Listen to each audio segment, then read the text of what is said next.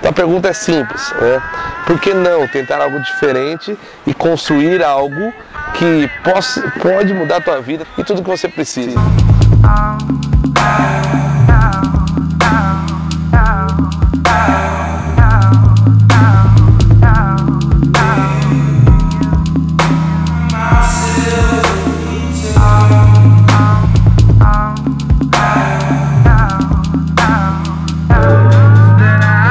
Então eu quero te chamar para um compromisso.